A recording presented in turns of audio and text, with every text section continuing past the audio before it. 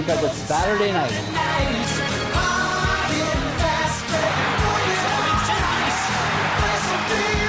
Because it's hockey tonight.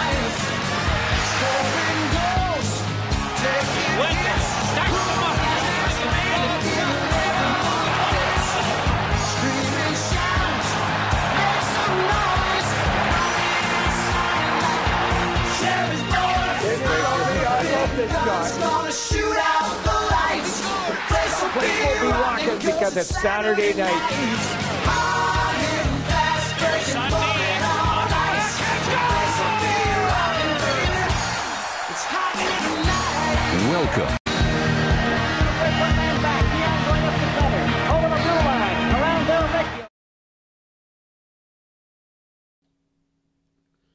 Ladies and gentlemen, gentlemen and ladies, let's get right into it. Let's get right into it. My name is Matt for Oilers Fan Reaction. Yes, it is Sunday night. It is roughly, I'm going to say it's midnight. Sorry I didn't do the update on Saturday. I took the family to the Soapbox Derby in Edmonton. If you were there and I met you, awesome. If you were there and I didn't see you, sorry I missed you. Maybe next time we'll all get together and have some fun.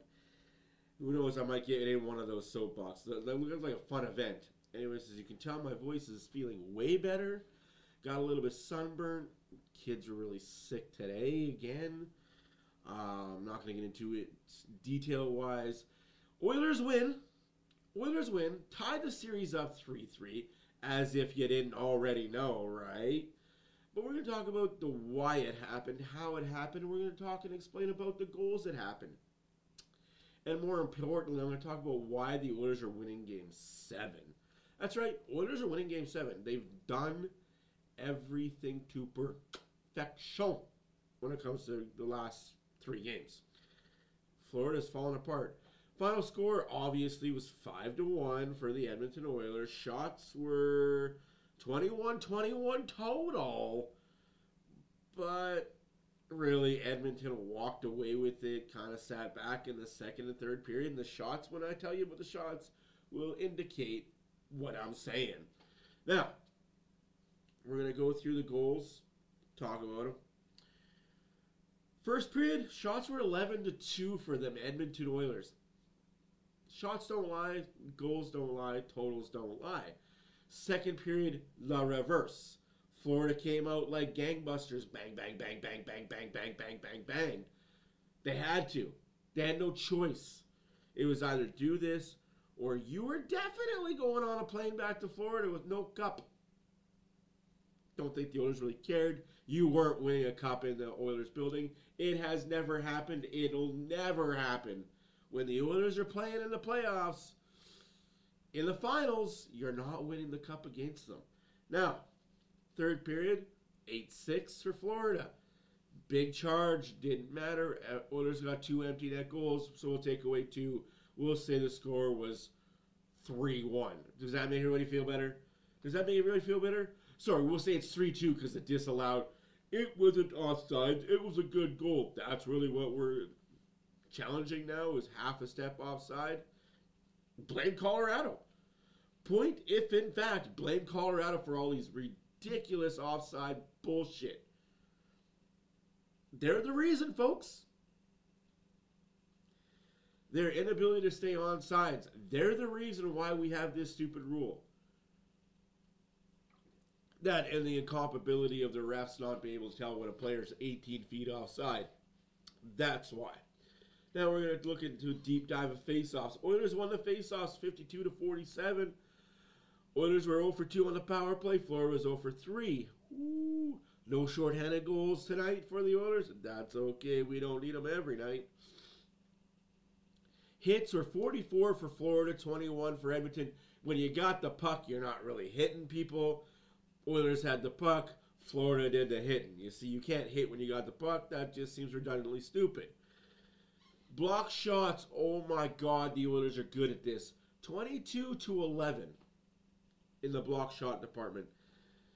The giveaways by the Oilers defense is still mind boggling and hurts my head to no degree.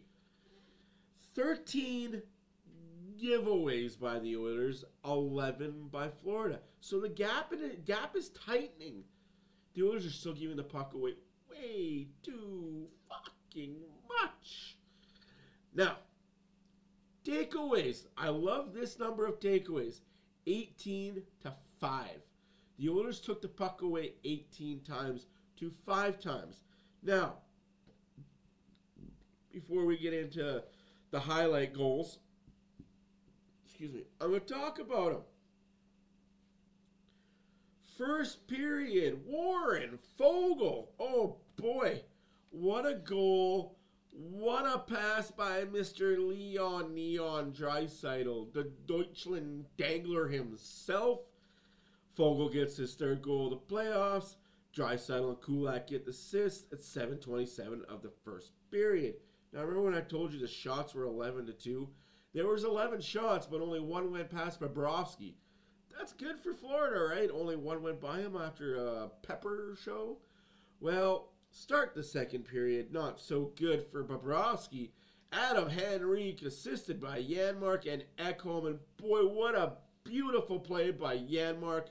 Beautifully set up by Ekholm, by the by, because the Oilers are now defeating the trap and the pressure of the Florida Panthers. You know how you're a coach, you got to make coaching adjustments on the fly.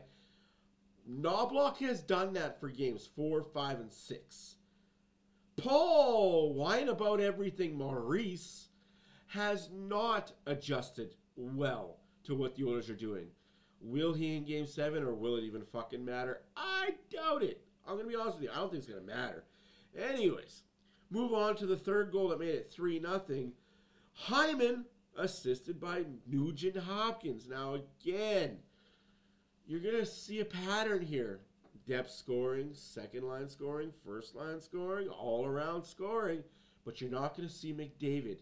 Also, this is the first time in the McDavid era of the Oilers, McDavid hasn't got a shot or a point, and they won. Let that one sink in a little, a little bit for Florida fans out there thinking they got a chance.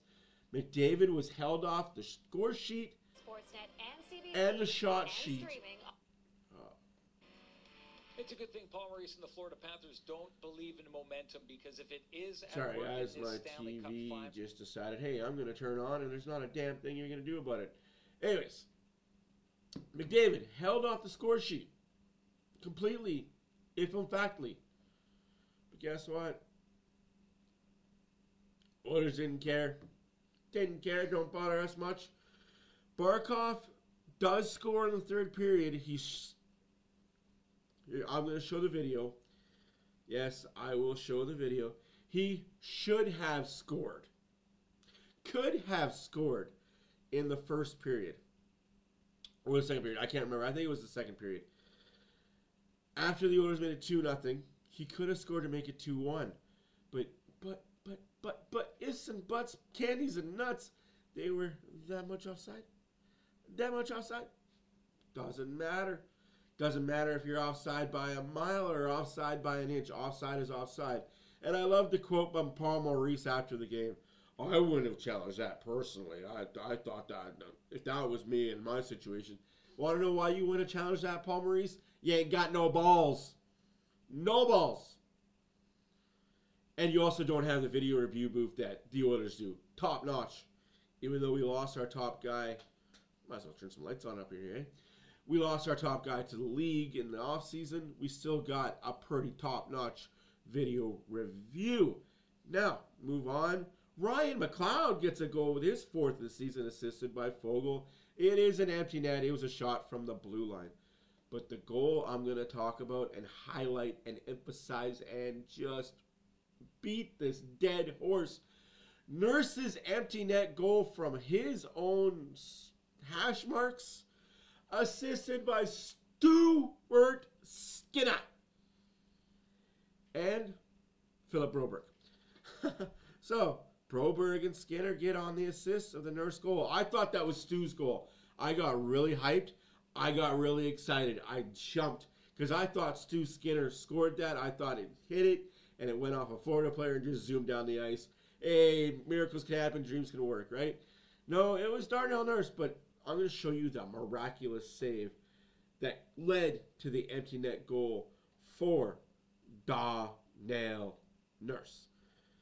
Now, without further ado, ado any further, let's get into the highlight reel package. Roll it.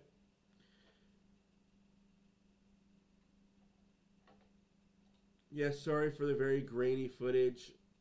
I took it with my cell phone. I apologize. First goal is really grainy, really bad. What you see here is basically a three on two. Draisaitl obviously holding on to the puck, obviously has full control. Here it is again. Right here, Florida's looking good. It's five on four. Florida's looking good. And then the giveaway. Now you got three on two. They crisscross. Crisscross applesauce at the blue line. Kept onside Draisaitl. Nice little sauce pass. Backdoor Foegele. It is a good thing that uh, Dylan Holloway didn't stick his foot out to stop that puck from going. He wanted to. Boy, howdy did he want to. I love this angle right here. But Broski had no chance on that. No chance at all. No, he didn't. Made it 1 nothing Edmonton. Now, here's the goal everyone's talking about. I guess I should uh, show you the Adam Henrique goal first. What a ting of beauty. So I'm going to back that up real quickly. So you see, oh, oh, back it up, dumbass. So you see this here. I know like you can't see my pointer or anything, and I don't want to like pause videos and draw black lines. I don't have that technology yet, and I apologize. Now you see how the Florida Panthers are playing here. There's four Florida Panthers right there. There's three Oiler defenders, two defenders, and a winger. And there's another Oiler coming out the zone at their blue line. Now, this is what the Oilers are done since game three, four, five, and six. They're reversing the pressure. They are making the Florida Panthers work east to west, north to south. You want to send three Tagoons? Go ahead and send your three Tagoons. Because you want to send four Tagoons after our two defensemen? We'll just rip it around the boards and we'll have a forward leaving the zone early and we'll catch you on the backside. They've scored four goals this way, the Oilers have. Right there. See how the there's that Oiler leaving the zone, like I said. There's the other forward. One forward and defenseman back because Janmark is up by the red line waiting for that reverse. He's up by the red line waiting for the reverse. That's about to happen, and he knows it's about to happen. Now, he's waiting for it. Janmark picks it up, stays on side, gives it over to Adam Henry. Henry bubbles it back to the side that Bobrovsky was just on. Holy Toledo! Now, 2 0 Edmonton, 19 14 left in the second period. Shots are 12 to 2 at this point. Oh, that's embarrassing. 12 to 2. Like I said with the big picture overall, the Oilers have reversed the pressure that Florida has been put on them, and Florida doesn't have an answer. Edmonton's too fast, too big, too strong, too agile. Florida doesn't have an answer for what this is. Now, I'm going to show you this. Shortly after the Adam Henrique goal, right there, did, did you see the offside? Did you see it in real time? So you're good here. You're good here. Number 13 is doing his job. And right there. That's offside right there. My five year old could see that. My six month old could see that. That's offside. Offside, bud. Play goes on. Good little interference play there. And right here, all hell breaks loose. Barkov gets free. Not sure how the best player on Florida gets free, but he does. It ends up in the back of the net. They're cheering. They're jumping for joy. They think they got life. Nine nine says Draisaitl. Like that, yeah, right there. See, even at that angle, you could tell. Oh, boys, Paul Maurice, I wouldn't have used my timeout. I wouldn't have challenged that. That's too close. Also, for all those Florida Panther fans that say, well, what if it was the Oilers that were down 2 nothing and it was their goal that got called offside? A, doesn't matter. It's it's the Oilers. They challenged it. It counted. It didn't count. Okay, that's fine. We'll kill the penalty. And then you got those fans. Well, what happens if it's onside? The Oilers challenge and it's called onside. Now you got to kill a penalty. Who cares? Whoop de fucking do. We kill a penalty. We're still up 2 1. We got the best penalty kill in the playoffs, bar none. Not even close. Go shut your mouth about it. Yeah, I'll take those odds. Thank you very much. And here we go with the fourth goal. Block shot breakaway. I gotta love this. It's 2 0 Edmonton with a minute 45 left in the second period. Shots are getting closer. Florida, for most of the second period, was taking it to the Oilers. I'm not going to deny, I'm not going to pretend. Hyman, forehand, backhand, top shelf. Oh, 42, Montano. Oh! You're taking out your goalie for us. Is that why Bobrovsky didn't practice today? Got the aches and pains. Got the aches and pains. He slid into the boards pretty damn hard, too. I'm not going to lie. Bobrovsky has not looked the same since game three. Now, will the real Bobrovsky show up for game seven? I don't know. What a block shot. Bennett doing his dirty shit. Cross checks in the back of the head. Doesn't matter. Hyman clear cut. Whoop. How you doing? How's your sister? See you in the corner. I love that. A lot. That a lot. Oh. Oiler fans are jumping for joy. We got a 3 0 lead. Scores 3 1.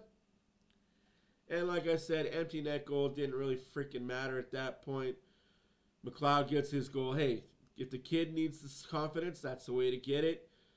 Jeez. But look at the work. Like, it's not okay, I'm I'm not gonna sugarcoat this. I'm gonna make myself kind of come on camera for a second here. Now, it's not like it's an empty net goal that wasn't earned. We see that all the time.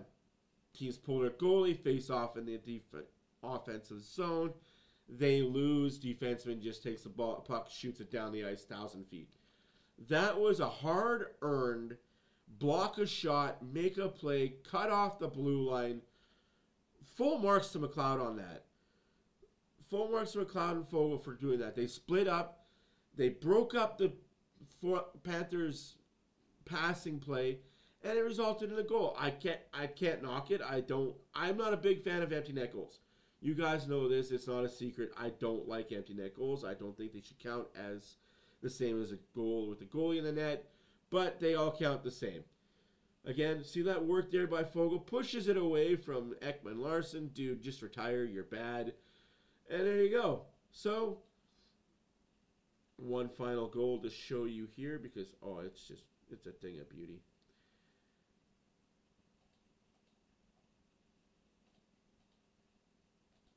This save. Oh, this save. Oh, right there. In case you missed it. Oh, just. It's on. The backhand. Sees it spin. Forehand push. Gets it to Nurse right there, and Nurse does the rest. Oh, just. Tell me this guy isn't built for game seven. Whoa. I mean, it wouldn't have affected the outcome, but oh, the confidence this kid has. After we were bashing him as fans, games one, two, three, Vancouver series, they wanted him run the frick out of town. Where, where, where are those idiots now? Where are those idiots now? Nurse with just a just a beautiful shot. Ting. Oh, just a, and of course he celebrates. They go near him. They give him this high five. They give him his flowers. Gotta love that. Just, oh. And here's the goal in full time. Oh, just a thing of beauty. Oilers win five to one. Play some La Bamba, baby. Go straight after Skinner. Like they didn't care that Nurse scored. Like, dude, that's your assist, man. Like, just what a freaking play. Like, say what you're gonna say. Say what you want to say. Oilers win. Play La Bamba, baby, which we are gonna do because that's what we. do.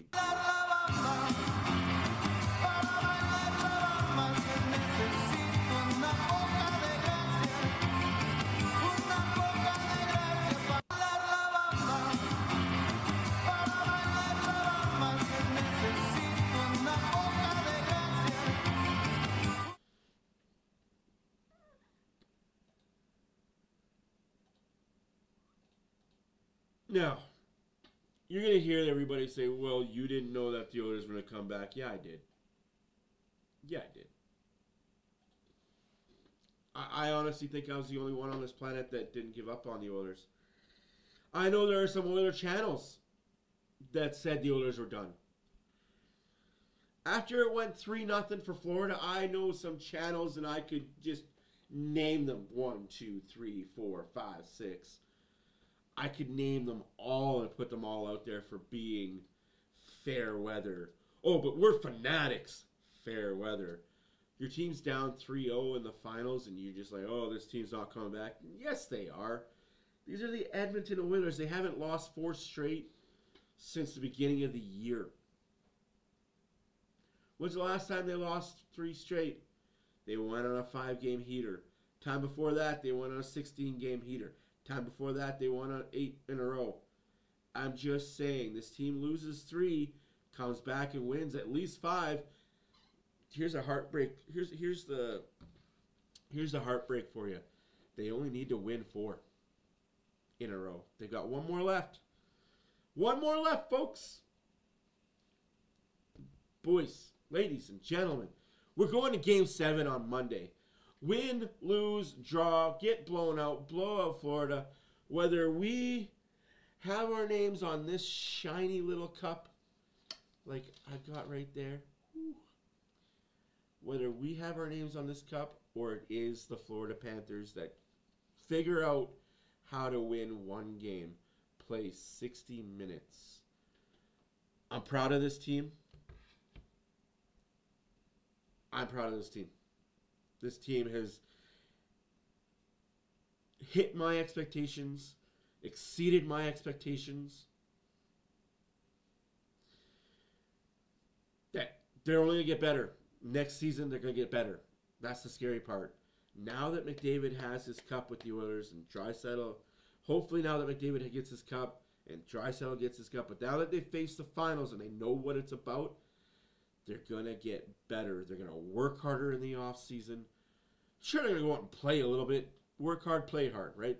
But they are gonna come back next season, game one, with an ultra focus that they didn't have this year. Anyways, my name is Matt for Oilers Fan Reaction. Great talk for Oilers fans. Thank you for watching. We'll see you tomorrow. Yes, I've got two videos coming out tomorrow, which is Monday. I got a touching tribute to Colby Cave, uh, Ben Stelter, and Joey Moss. Hopefully, you guys like the shit out of that. And then I got a hype video of hype videos for you guys. Oh, it's going to be so much fun. Anyways, guys, thank you for watching. Nothing but love. Go Oilers, go. We'll see you tomorrow. Peace. Going up the center. Over the blue line. Around Del Vecchio. He shoots. He scores.